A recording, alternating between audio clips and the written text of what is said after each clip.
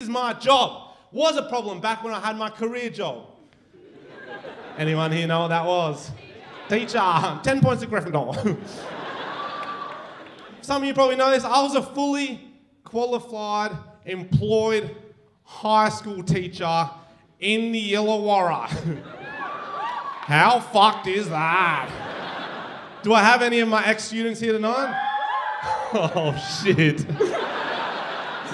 And you can afford tickets. That mustn't be that bad. Where are you guys from? What school? Just yell them out.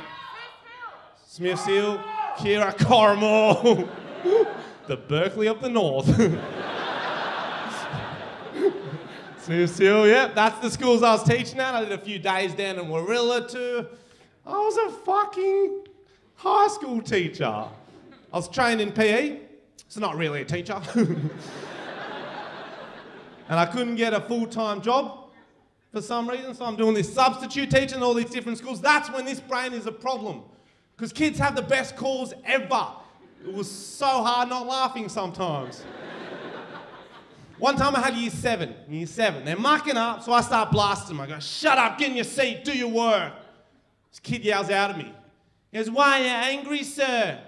Did your mum dump you again, did she? What, the, what the fuck is that? no, fuck you. Another time I had a year eight. Year eight, they're working really well. They're nice and quiet. This kid puts up his hand. He goes, hey, sir, I heard a really funny joke today. Do you want to hear it? And I knew I should have said no.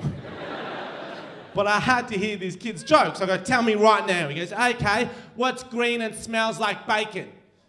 I go, I don't know. He goes, Kermit the Frog's fingers.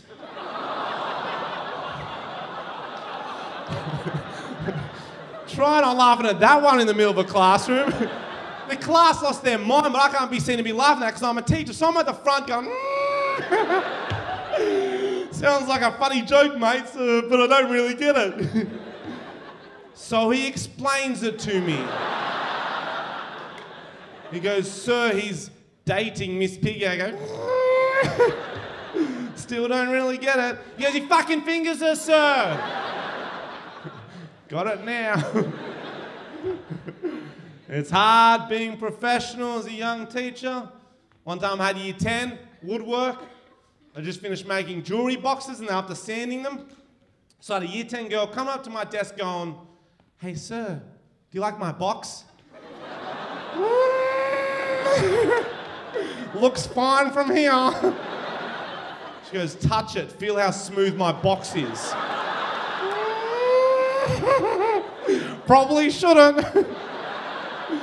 then her friend comes up going, Sir, whose box do you like better, mine or hers? I'm going